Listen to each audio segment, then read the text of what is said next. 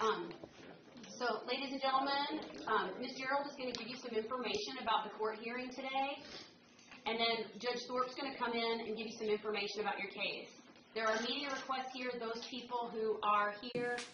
If you have only misdemeanor charges, you do not have any new felony charges, even if you're on felony probation, that date in the upper right-hand corner will not actually occur because you can go to court. Words out of my mouth or that I just turned the recorder on. that is very important because as Ms. Gerald just explained to you, uh, once this starts, wouldn't be representing you, but at least can advise you on court procedures so that they could be in court to advise you on things that can or can't be done, but wouldn't stand in your place.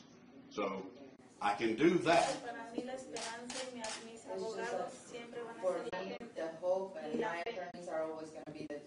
And my faith.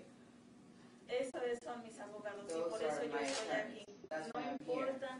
eh, ¿Por qué no buscan una mujer soltera? ¿Por qué buscan una mujer con, con hijos, hermano? A la noche y a la mañana malogró mi hogar, hermano. Fuera de sus casillas, este hombre tomó su mototaxi y fue